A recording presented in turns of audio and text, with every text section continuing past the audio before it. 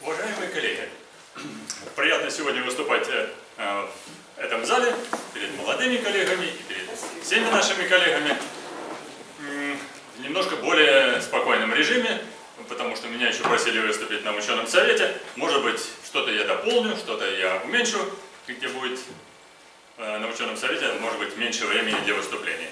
Здесь я постараюсь показать результаты э, своих исследований паразитических перепончатокрылых насекомых семейства трихороматиды, кальцидоидные наездники, которые я проводил в Турецкой Республике вот в прошедшее время. Вот здесь показан слайд э, вход э, в Институт защиты растений Министерства сельского хозяйства, в котором я работал. Вот такими большими буковками все написано. Это такая традиция. Все подписывать большими буквами, видными за 100 метров от здания. Вот место Турецкой Республике, которые мне удалось посетить за это время. В основном это, как мы видим, такая восточная часть Турции, то есть, наоборот, западная часть Турции, а восточная вот пока еще осталась неизведанной мною, по крайней мере. Так что это есть задел на дальнейшее исследование. Э, задачами исследований являлись следующие, вот здесь, которые я перечислил. Ну, я скажу в двух словах. Это, прежде всего, задача изучить биоразнообразие яйцеедов семейства трихоароматиды природных ландшафтах и в сельскохозяйственных, потому что Институт защиты растений занимается именно сельским хозяйством, проведение определения видового состава культур яйцеедов рода трихограмма, которые поддерживаются сейчас в лабораторной культуре в Институте защиты растений, изучение систематики рода трихограмма, э, поиск в сельскохозяйственных природных ландшафтах тех видов трихограммы, которые можно использовать для лабораторного разведения, поддержания в культуре в лаборатории, изучение и поиск природных хозяев видов рода трихограмма, и для исследования, конечно же, проведения приготовления микроскопических препаратов для, при определении видов рода трихограмма и других видов семейства трихограмматида. И подготовка публикаций по поставленной данной теме. В двух словах скажу, кто такие энтомофаги. Вот энтомофаги, кто знает, кто скажу в двух словах, потому что есть еще и студенты. Это те, кто пожирают вредных насекомых. Вот насекомые, поедающие насекомых. Среди паразитических насекомых имеется Э, несколько больших отрядов насекомых, паразитические перепончатые крылые занимают одну из самых крупнейших групп. Какие методы использовались для мной и другими, в том числе исследователями, здесь я упомяну и покажу, для сбора паразитических перепончатых крылых насекомых. Прежде всего, это вот обычный энтомологический сачок. Сачок еще бывает вот такой треугольный энтомологический сачок Джона Нойса, который позволяет интенсивнее косить вдоль Э, поверхности Земли. Используется вот такая ловушка молеза, э, такая прозрачная палатка, где насекомые поднимаются вверх, насекомосборник и тонут в спирте. Очень интенсивная собирающая ловушка.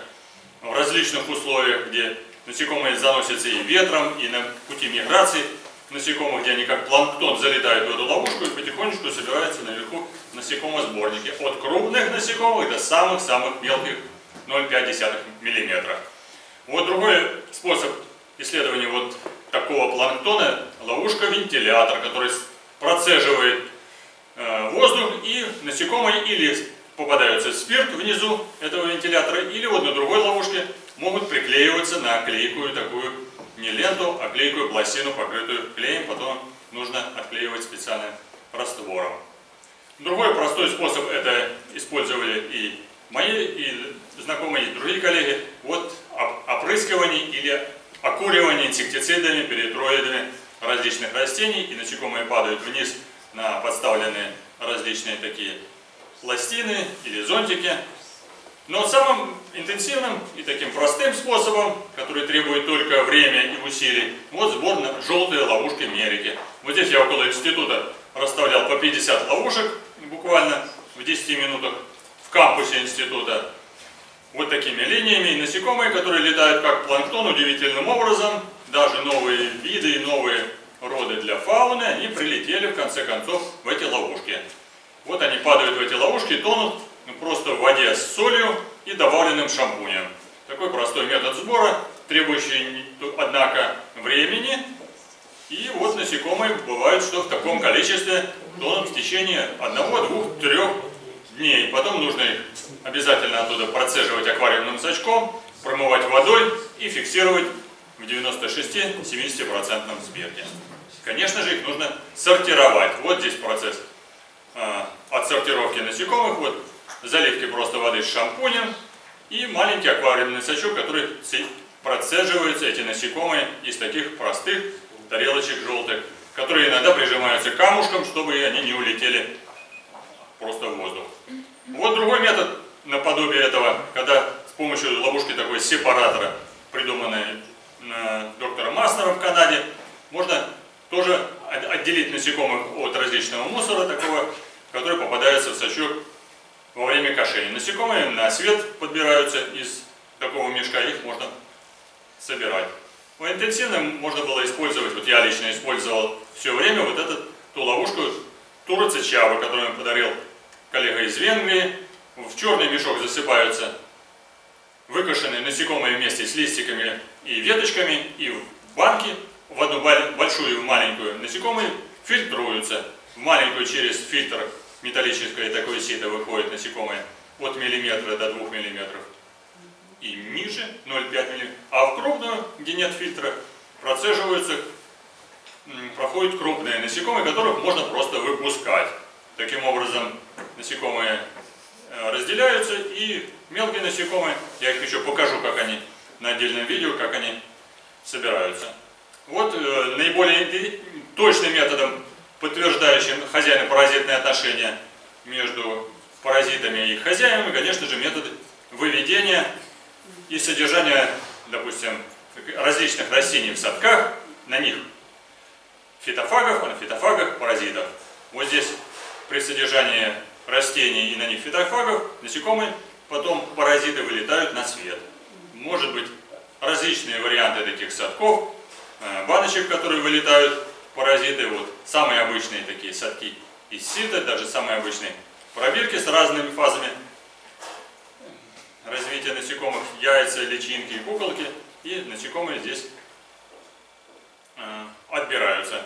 Вот такой наиболее интенсивный метод, который используется в нашем отделе, выведение из различных частей растения, то ли это цветочные головки, стебли, может быть корни, листья, насекомые, вылетающие из этих растений, они бегут на свет в баночку, вместе с ними постепенно выходят и паразиты, и голообразователи, и паразиты и яиц, личинок, куколок, все они собираются в эту баночку.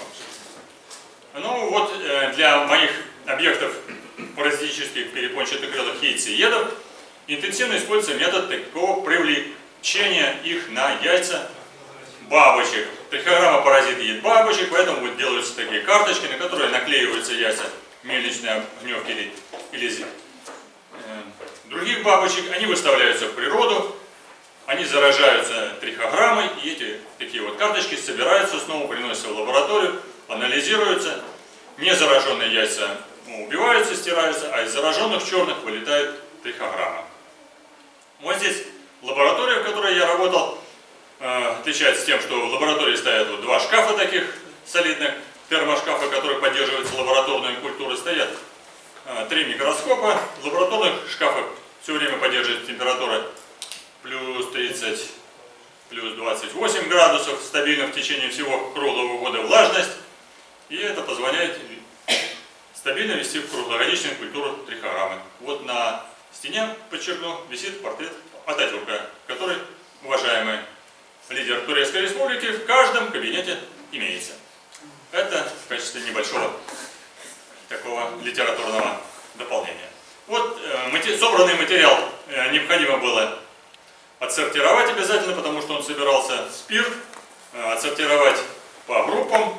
Вот самые разные группы попадались перепончатых крылых насекомых, самых разных надсемейств и семейств. Их приходилось тщательно сортировать по различным пробирочкам и отсортированный материал потом препарировать. Мое семейство трихороматиды, вот я делал такие препараты, на каждый препарат по 6, 4-6 экземпляров, и это достаточно длительное занятие.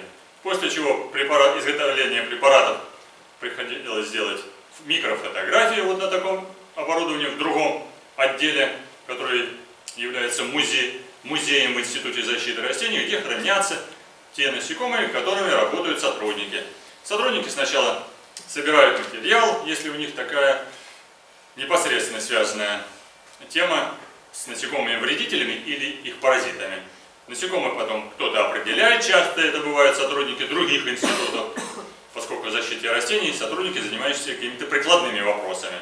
Они отсылают этот материал, присланный назад материал, они ставят свой музей при Институте защиты растений, который является их отдельным отделом таким.